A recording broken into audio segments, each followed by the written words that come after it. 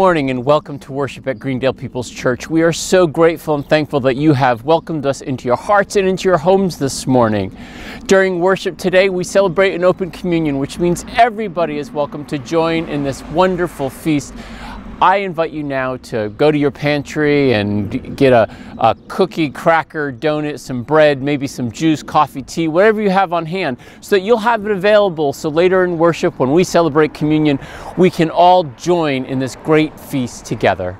For now, I invite you to center your hearts as we prepare for worship and listen to this beautiful prelude from our music minister, Annie Arsenal.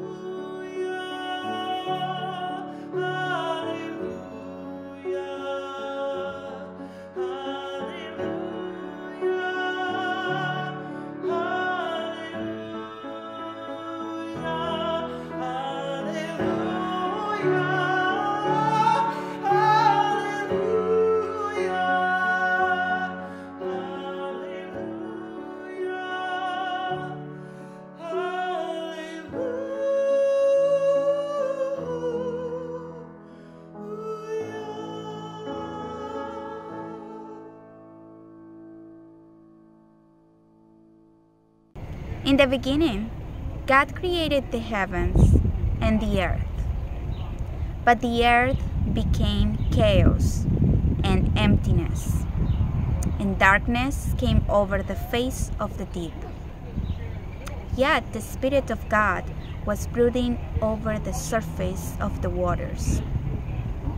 Then God said, Light be. And light was. God saw that light was good, and God separated light from darkness. God called the light day, and the darkness night. Evening came, and morning followed, the first day. Please join us in our opening song, All Creatures of Our God and King, by our music minister, Annie Arsenal.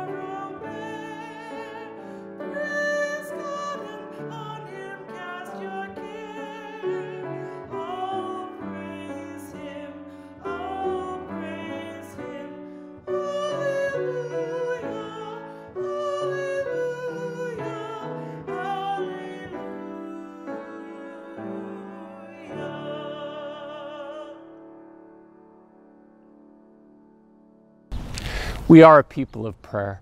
And so at this time, I invite you now, if you're watching us through Facebook Live, to share your prayers. You can enter them in the chat on the side of your screen, or at any time during the week, you can go to our website, greendalepeopleschurch.org, and there's a place where you can share your prayers, or you could send an email to our care ministry, care ministry at greendalepeopleschurch.org.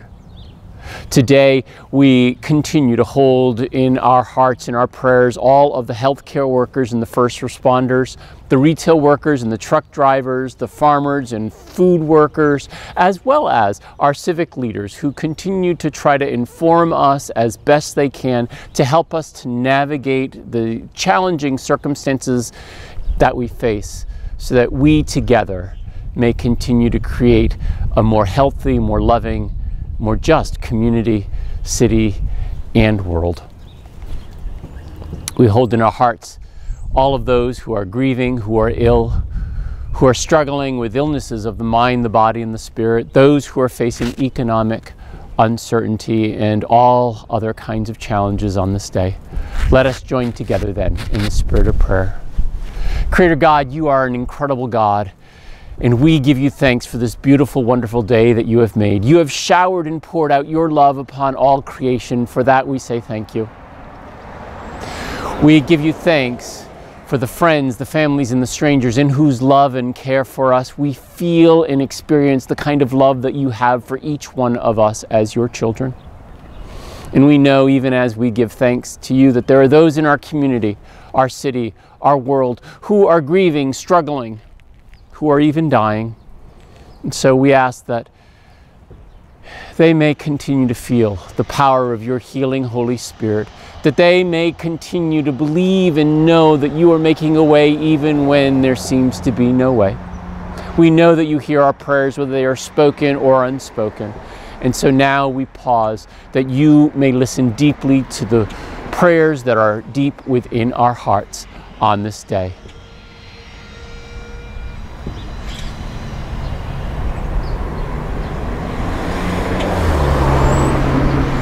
Creator God, we are assured that you work in and through all things for love because you came to us in the one, your Son, Jesus, who is the Christ, who while he was here taught us this prayer that together we now pray. Our Father, who art in heaven, hallowed be thy name. Thy kingdom come, thy will be done on earth as it is in heaven. Give us this day our daily bread and forgive us our trespasses as we forgive those who trespass against us. And lead us not into temptation, but deliver us from evil.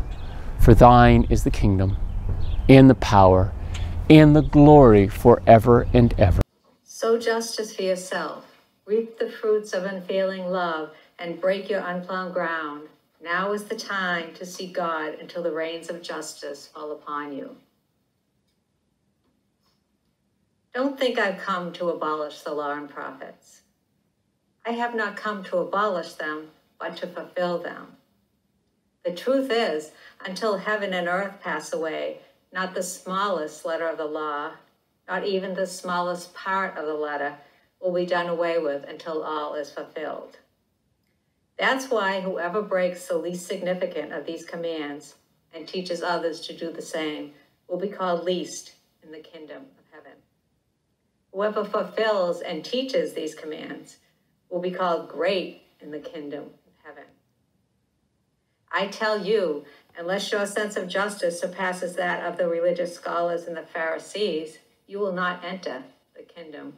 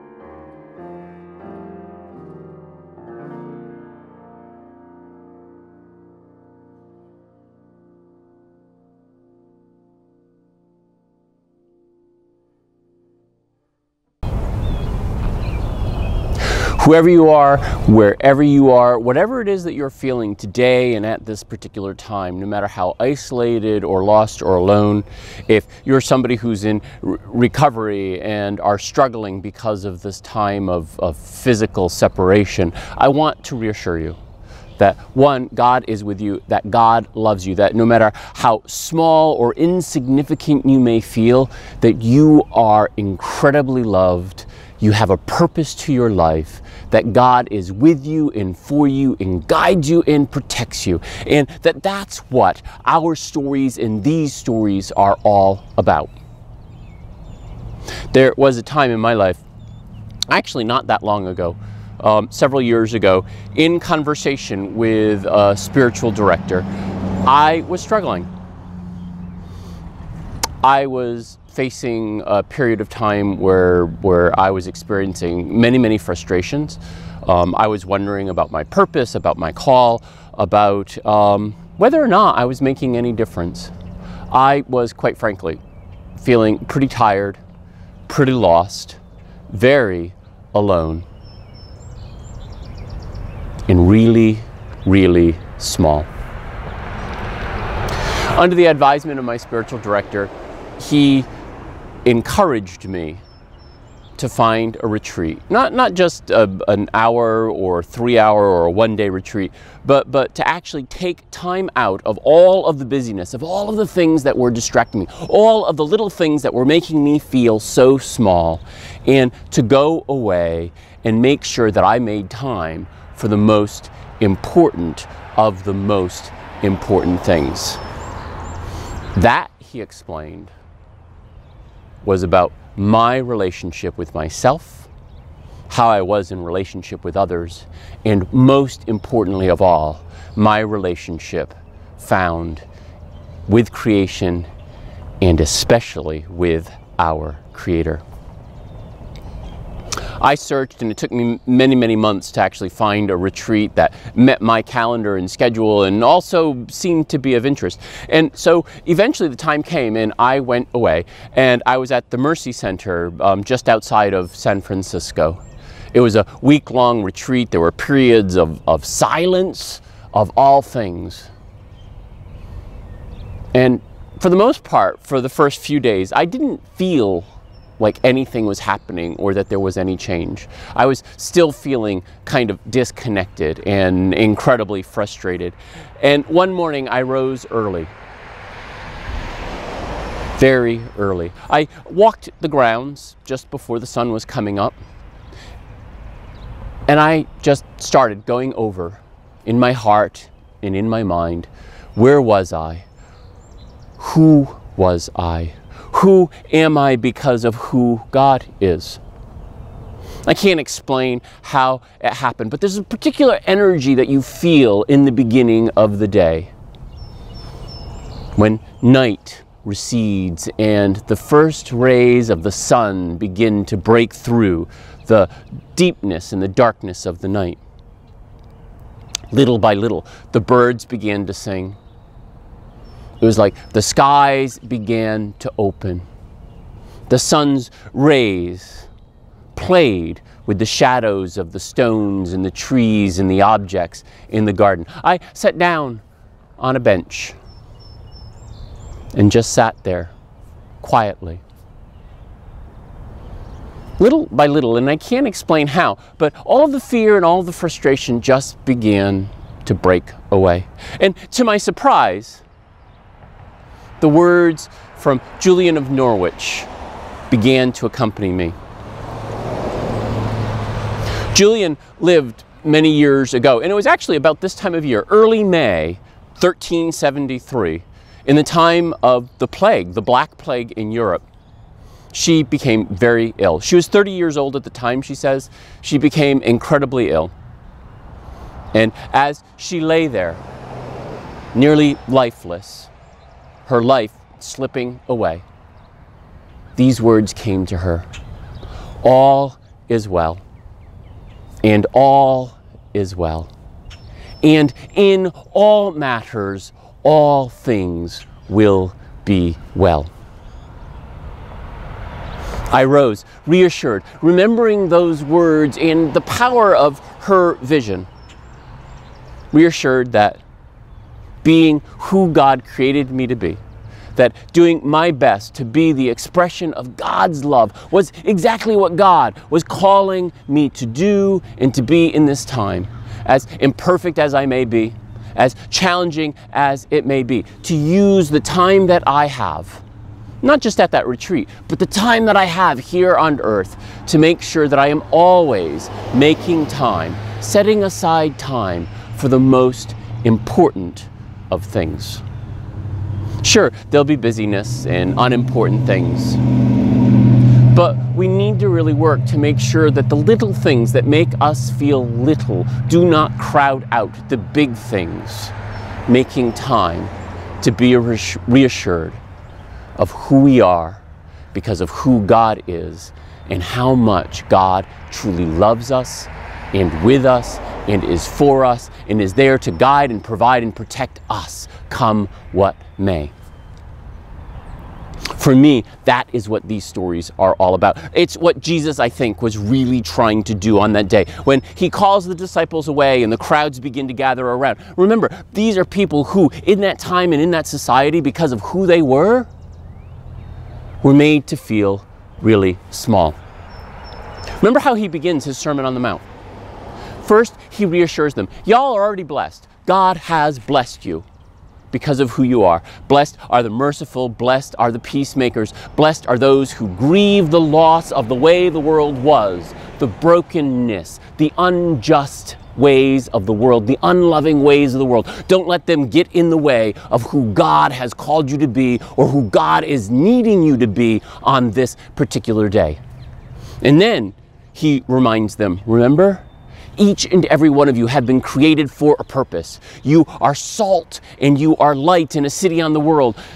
You have a purpose that God has created you for in order for God's love to shine in you and to come out through you, for you to use your presence to preserve the good, to light the way for those who are lost on the journey, to create the place of refuge and hospitality for all who feel lost and alone.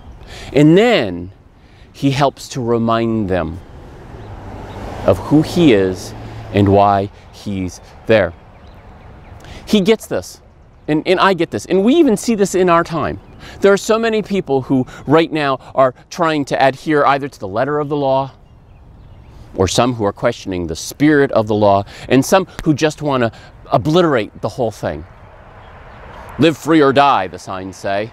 Well, it's really more like live free and die or live free and cause someone else to die. Anarchy is not the answer to our frustrations. Those times when we are made to feel small, either because things don't make us comfortable or because we have to sacrifice our freedoms and our liberties in order to create a more loving, more healthy, more just, and more safe community. Sure, we'd all like to have worship. We'd all like to gather together in community. But right now, it isn't safe. And so, what Jesus does on that particular day, these people who feel small, there are some who are gathered there who just want to overthrow it all, who see within him the hope of the prophecies, that he is the Messiah, the long awaited king. And, and, and he knows that there are those who have their own political agendas, there are those who want anarchy. And he reminds them I'm, I'm not here to obliterate the law, I'm here to fulfill it. I'm here to bring life into it. And then he does, and he says the most amazing things. I'm not going to get rid of even the smallest dot, the tiniest of letters, the iota, the tiniest little letter. I'm not going to get rid of any of it. I'm here to fulfill all of it. It is the difference between adhering to each letter of the law and bringing life's spirit into the law, like embodying it, helping us to understand what it really was meant to mean. The law, when he talks about the law, what he's really talking about is the first five books of what we consider the Old Testament, beginning with Genesis.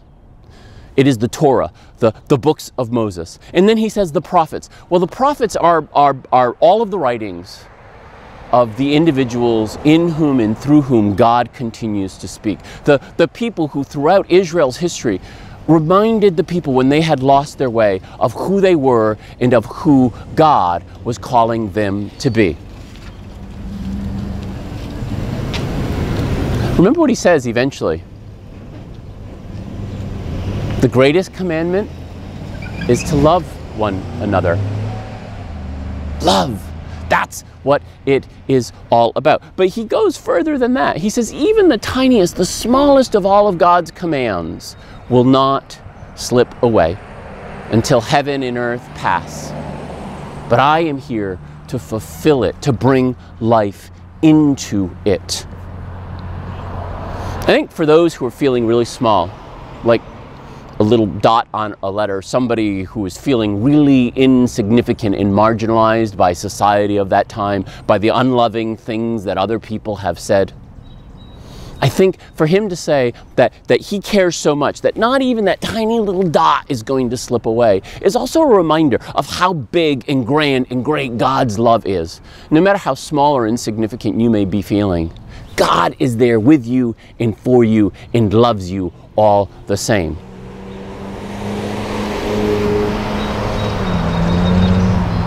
When he talks about the least of the commandments, it's a curious thing. But, but, but here's the thing for me as I go back and I think about this, I, I go back to the, the visions of Julian of Norwich. Julian actually became the first woman author of an English text. 1300s. When she was there lying on her deathbed, she said she was 30 years old. Her, her, her, she had fever, she had illness. They weren't sure if it was the plague or what it was, like so many these days. She said, by the third day, they came in and they gave her the last rites. By the sixth day, her body was failing, and they were preparing her for the end, her final transition and journey. And then, as she was preparing to let go, she said she had this incredible burning desire that she wanted to continue to hold on to life. She said, God, Lord, I love you so much. I want to live out that love in ways that are even more amazing than they could be with you in heaven. And she says that it was there in that morning of the seventh day. She had this powerful vision. She said, I saw the Lord. And he came to me. And he was holding in the palm of his hand something small and round, like, like a hazelnut. She said, what, what might that be? And she said she felt in her spirit that she had the answer almost instantly. It is all that is and ever was, all of creation held in the palm of God's hand. How tiny and insignificant she thought it was. She said, I, I thought that it would just fade away. And then she said, she heard in her spirit God speaking deeply to her. God created it, and God loves it. And because of this, it will never slip away. And then she said, I felt that there were three important properties about this in all of creation. No matter how tiny and small that it was, she said, I was assured that God created it. And then I knew that even in its insignificance and how small it, it, it felt, God loved it. And then I was absolutely assured that God would provide and protect and ensure that it would survive. You know, the first of the commands, the law, if you will, the first commandment that God gives is there in the very beginning, the opening chapter of Genesis, the very first words. In the beginning, it says, God created all that was, made the heaven and the earth. God created everything in the beginning. And in, there, it was emptiness, a void, a deepness, but an emptiness, no life within all of creation. It says, God's Spirit brewed across the water. God's Spirit. You can imagine that as God's breath, God's Spirit, God's essence, God's being. Some say the Holy Dove. But hovered across the emptiness of the deep in the waters. And then God said, Light be. Let there be light. It's like the first, the smallest, maybe even the most insignificant of all of God's commands happens there in the beginning. Light be. Out of darkness and emptiness comes light. And then from that, there is a place that is made for love and life to thrive. It is what all of our time is about, no matter how small or insignificant you may be. It is to push aside all of the things, the people in this world that are making you feel so small so that you may be the amazing person that God has created and called you to be. The prophet Hosea says, Look, it's time to seek God right where you're at. Sow the seeds, break the fallow ground, break new ground in this time in this time when we are separated, let us make time so that we can go deeper and be who it is that God is calling us to be together.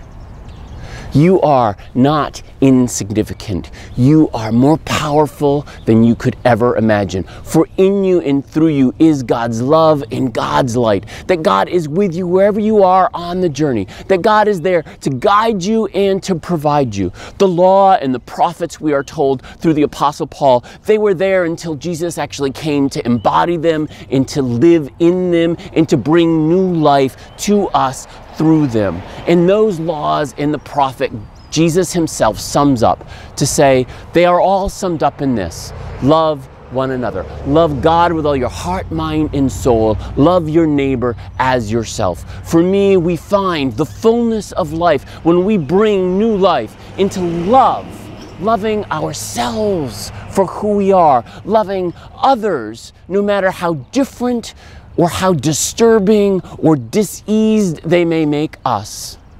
Finding new relationship to love God's creation. And then making time for the most important of the important things. To find ways to express God's love in loving God, our neighbor, and ourself. May God continue to guide you and to protect you and to remind you of how important and how loved you have been created to be. Amen.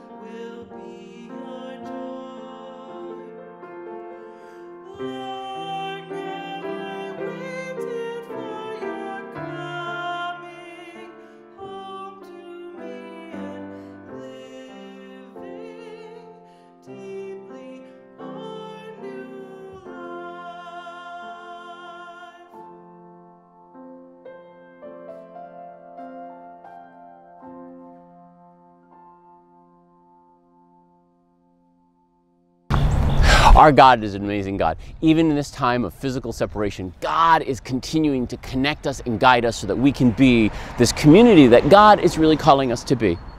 The old world is being swept away. I don't know what this new world is going to be. We're talking about what is it going to look like when we come back together again. We need your input. We need your prayers and we need your presence. So we thank you for joining us in online worship. I also really would encourage you to join us if you're watching us on Facebook Live for our Zoom virtual coffee time, which actually happens immediately following our worship service around 1045 or 1050 each Sunday. On May 17th, we're going to have a very special virtual coffee time around 1045, 1050, right after virtual worship service. We invite you, everybody, to join together for an important Zoom conversation, one so that we can see and talk to each other. Um, if, you, if you don't have internet connectivity or webcam, you can just call in and listen in. Um, but if you do have a webcam, we encourage you to, to, to, sign on to the Zoom so that we can see your smiling faces. Um, but on May 17th in particular, on that particular Sunday, we are actually going to to be presenting a, a lot of updates about where we are on this journey, about um, our, our thinking um, about reopening and how do we actually reemerge and phase back into um, physical connection um, when we're able to do that. We're also going to have an update about the, the vision that has emerged, Love in Action from our team TLC, an update about the pastoral search team, an update from the board who has been very, very busy starting to get their mind around some really big questions in our life and for our future. So I really encourage you, if you are able to make time, especially on May 17th, to join us for our virtual coffee coffee time. There'll be more information coming out about that. And if you're not able to join us for that conversation, we will be recording it and posting it um, on Facebook as well as on our YouTube channel.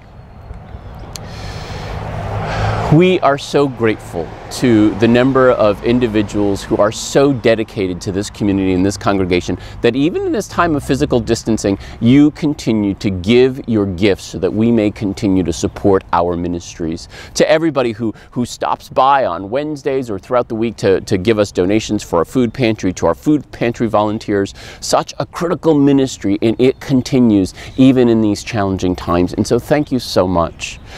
Our treasurer tells us that our giving is actually up about 5% from what we had anticipated in our budget. And that is incredibly good news. And that's because of the dedication of so many of you. So thank you, thank you for everybody who is able to and has continued to give your gifts so that we can keep this ministry vibrant and strong.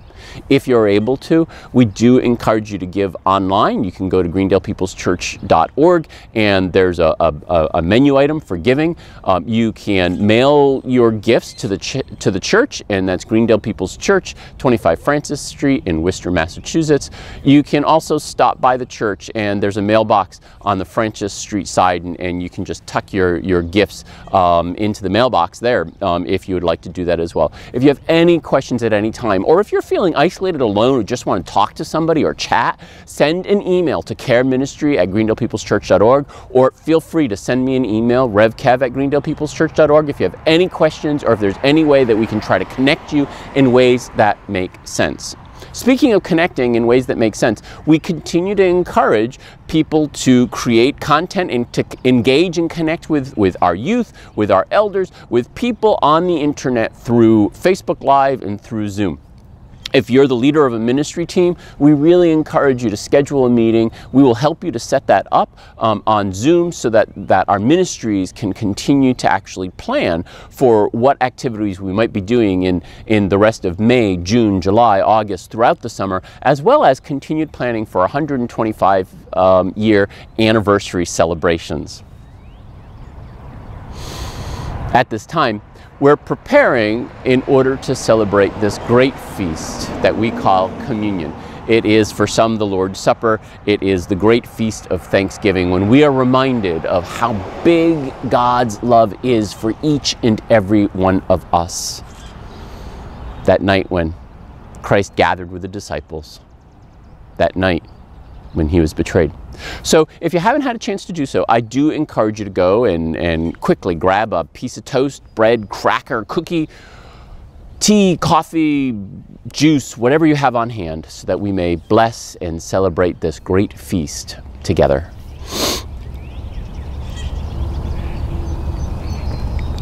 My friends, let us begin to prepare ourselves, our hearts, and our minds to join together through God's Holy Spirit in this great feast. May the Lord be with you. Let us lift up our hearts. Let us give thanks to the Lord our God. It is always right to give thanks to God, for God is the God who created everything, you and me and all of creation, who broods and cares for all of creation so much that God's love pours out over into and through all that has been created. It's just an amazing thing. We remember that even on the night when Christ was betrayed, he met with the disciples. There were those who were there who would deny him, those who had already betrayed him. And yet he met with them. They celebrated a great feast. He took the bread from the table, he blessed it, gave thanks to God, and then he broke it open the same way I believe as he broke open his life. Take and eat, he said, for this is my body given for you. Do this in remembrance of me.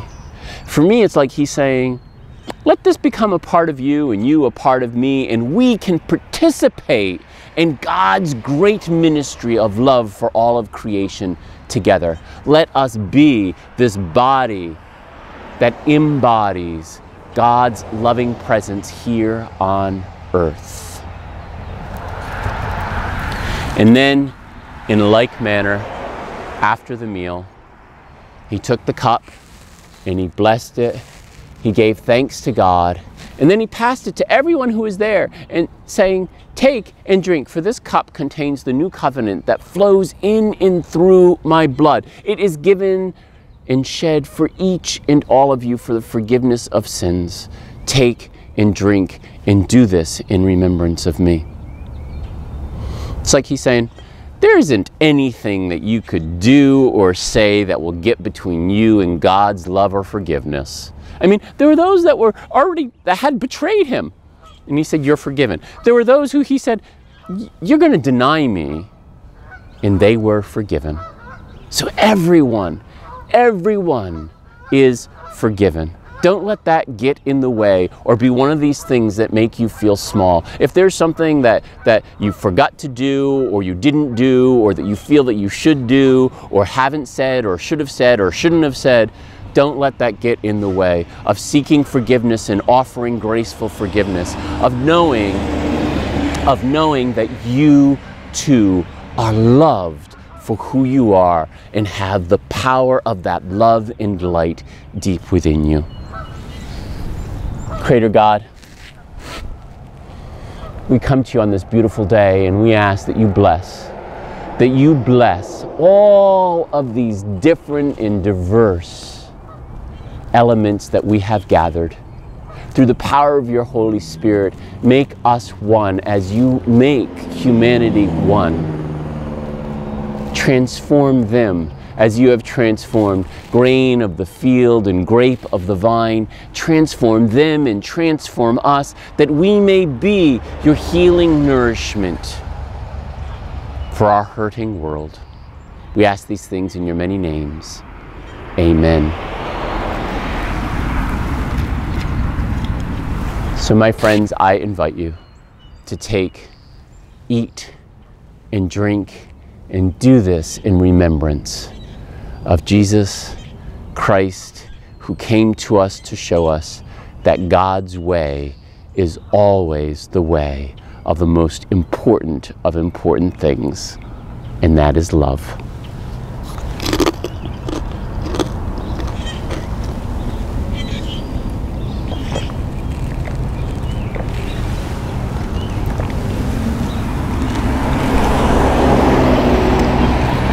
Creator God, we thank you. We thank you for, for making this time and making this space, for gathering us through the, this amazing modern technology and through the power of your Holy Spirit. We ask that you continue to work in us and through us, that you transform us, that you help us to find ways to push away all of the busyness and all of the things that make us feel so small, that we may make time and space for the most important of the most important things your grace, your love, your forgiveness. In all your many names, we say, Amen.